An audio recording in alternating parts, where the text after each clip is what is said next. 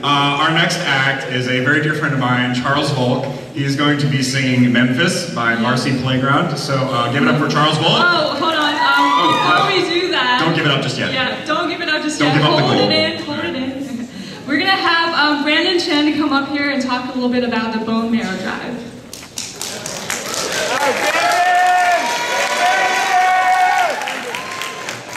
Hi everyone. Uh, if you want to have the chance to save someone's life one day, you should come by to the Bone Marrow Drive uh, table at the back of the auditorium during intermission. Um, all it takes is some paperwork, some cheek swabs, and you're part of the National Marrow Donor Program until you're 61 years old. Um, if you are matched with someone, over 70% of the time they can just filter out peripheral blood stem cells from your blood, so it's definitely not an invasive procedure. And if they do need to take your marrow, it's done under anesthesia, so you shouldn't feel any pain.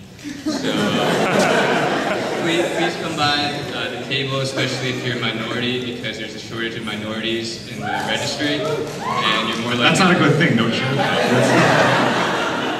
We're trying to fix that. You're more likely to match with someone of your own racial or ethnic background.